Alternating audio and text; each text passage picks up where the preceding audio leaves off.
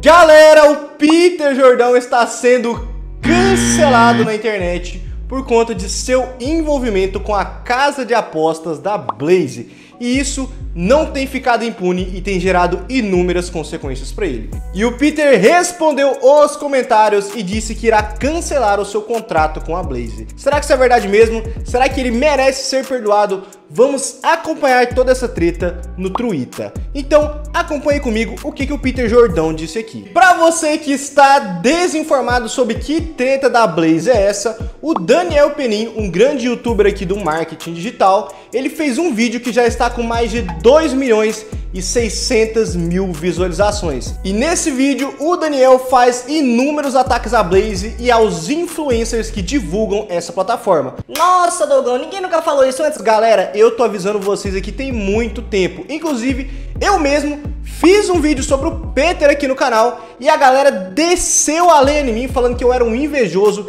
e que eu não apoiava o Peter, que ele deve sim divulgar as casas de aposta. É incrível como eu recebi esse tipo de comentário e eu vou deixar eles na tela aqui pra vocês. E galera, vocês têm que parar de passar pano pra quando as pessoas que vocês gostam fazem coisas erradas. Eu mesmo sou muito fã do Peter e eu acompanho o canal dele do Ei Nerd muito mesmo. Mas as minhas críticas não foram infundadas e aqui está a prova. O próprio Peter se arrependeu porque teve muita gente cobrando ele sobre essa divulgação da Blaze. Então vou ler aqui com vocês o tweet dele na íntegra e o que, que ele disse sobre essa polêmica que está dando o que falar. Ele tweetou o seguinte: Sobre a Blaze, não acham que eu não estou vendo todos me cobrando uma posição sobre essa marca.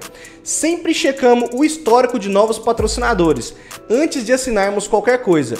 E fizemos isso com a Blaze.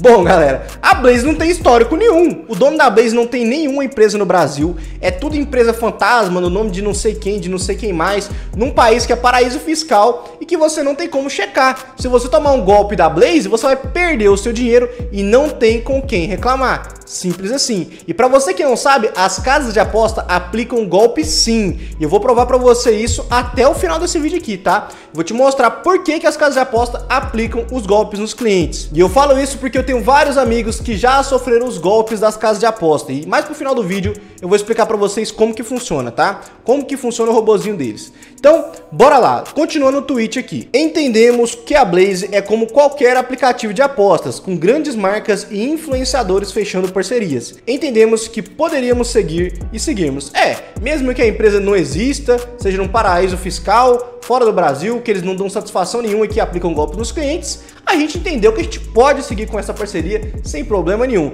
Desde que me pague um HB20 por vídeo, eu vou estar tá tranquilo, né? E deve ser mais do que isso, com certeza. De 180 vídeos no mês, anunciamos em 6 em spots de 30 segundos a 1 minuto. Informação completamente irrelevante. Não importa quanto tempo você divulgou, porque você divulgou, você deu o seu nome para essa empresa e não é a primeira vez que o Peter faz isso, tá? Lembrando que o Peter já divulgou outros aplicativos golpistas, como a Binomo, que se dizem traders, né? Mas é só um aplicativo de apostas disfarçado. Não existe trade, galera. Trade, esquece, esquece trade. Isso não existe. Existe trade na bolsa de valores? Existem para profissionais, não para o Zezinho 25 que joga Free Fire, tá? Então, para você que jogou seu dinheiro na Binômio, parabéns, você caiu na Blaze 2.0, né? Então, beleza, vamos continuar aqui sempre deixando muito claro que é um aplicativo para mais 18, que só use o dinheiro que está sobrando para investimento e que saiba que pode perder. Não, claro, em vez de você pegar o seu dinheiro que está sobrando e colocar na bolsa, em vez de você pegar o seu dinheiro que está sobrando e colocar no investimento e montar um negócio para você, bom, é muito melhor que eu te recomende você apostar o seu dinheiro no foguetinho. É óbvio, galera, é óbvio, simples assim. Nossa, Doglão, quer dizer então que eu não posso apostar que apostar é burrice? É, apostar é burrice. Se você sabe que você é burro de estar tá apostando, você continua apostando. Eu mesmo, eu gosto de apostar de vez em quando, mas eu não saio influenciando pessoas que eu não conheço aí a apostar. Eu só vou lá, aposto, já sei que eu vou perder meu dinheiro, aposto quantias irrelevantes, irrisórias, e eu não faço aposta em foguetinho. Eu jogo ali em trade esportivo, né, que a gente chama, né? Então, eu jogo ali no jogo de futebol, jogo ali no jogo de esporte e tudo mais, já sabendo que a maior probabilidade é de que eu perca mesmo, tá? Então, eu me incluo no grupo dos burros aí, mas essa não é a realidade da população brasileira. A população brasileira é aquela que pega o dinheiro do aluguel e coloca lá na Blaze e queima a grana dele. Essa é a verdade Infelizmente, a maioria das pessoas não tem autodomínio, não conseguem se contentar quando perdem e eles vão se viciando na dopamina que a aposta dá para eles. E infelizmente se perde no caminho, perde dinheiro de comprar comida para casa, perde o dinheiro de comprar um presente para esposa, perde o dinheiro do aluguel, infelizmente. Deixei claro que não usaria links e nem faria lives, mas depois de tantas mensagens e respeitando quem me segue, não quero mais seguir. Atualmente tenho um contrato para cumprir com um período bem curto. Depois disso, não irei continuar. Então, resumindo, nem sequer ele pediu desculpa, não pediu desculpa para quem perdeu todo o dinheiro, não pediu desculpa para quem perdeu o dinheiro do aluguel, não pediu desculpa para quem perdeu o leite das crianças. Esses aí são irrelevantes, eles que se lasquem, tá?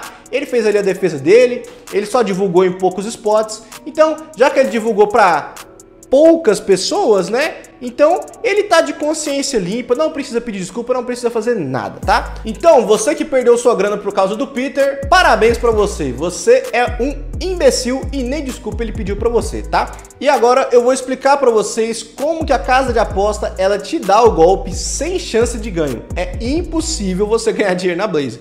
E eu vou te explicar o porquê. Por definição, nós temos dois tipos de casa de aposta: as que você joga contra a casa e as que você joga contra pessoas. Só que aí a gente não chama mais de casa de aposta, a gente chama de trade esportivo. Quando você joga contra pessoas reais e não contra a casa. No trade esportivo, existe uma chance mínima de você ganhar alguma coisa. Por quê? Porque você não está jogando contra a casa, você está jogando contra pessoas.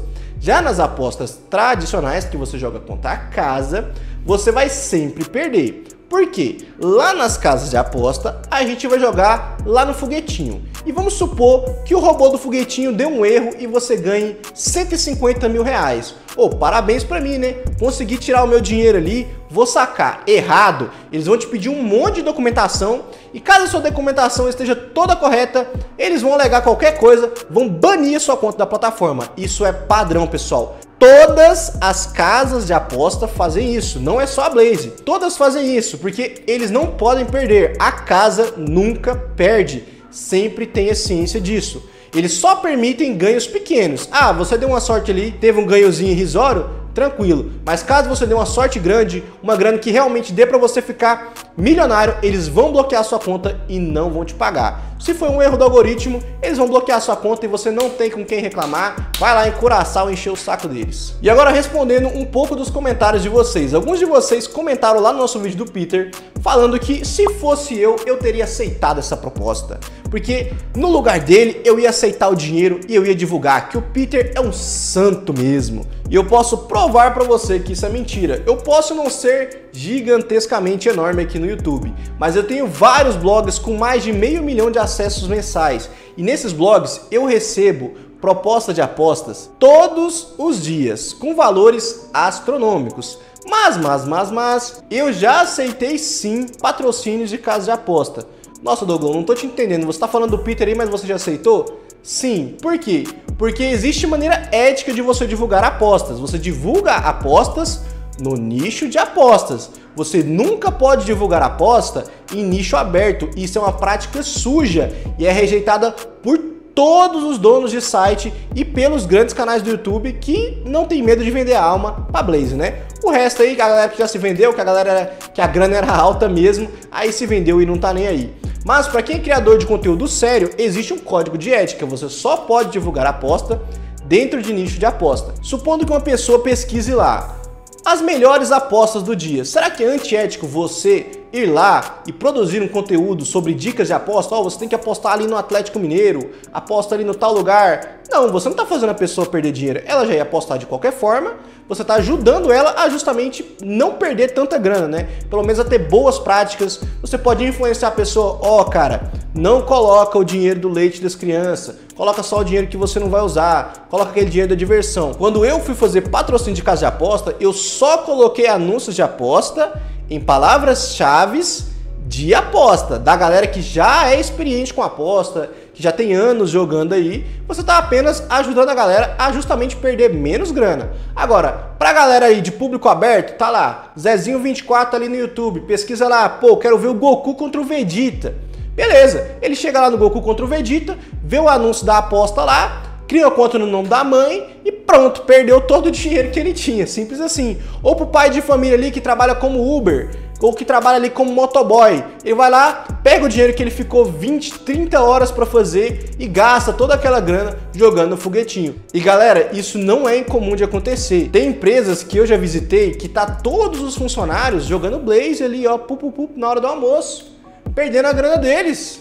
Então, assim, infelizmente é uma realidade aqui no Brasil e é algo muito, muito sério. Eu acho que o Peter deveria, pelo menos, ter pedido desculpas para os seus seguidores. E galera, essa semana ainda eu vou trazer atualizações sobre o caso Blaze. Será que descobriram quem é o dono? Quem são todos os influencers que divulgaram a Blaze? Eu vou trazer isso tudo para vocês aqui nos próximos vídeos. Então não se esqueça de se inscrever no nosso canal, deixar o like, ativar o sininho das notificações. Até a próxima e tchau!